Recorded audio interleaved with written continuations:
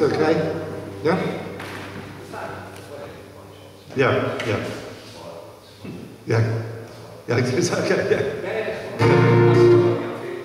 The room is fantastic. Yeah. Yeah, no, it's brilliant. We're normally in sort of rooms with those ceilings and stone floors and things like that, so it's great, yeah.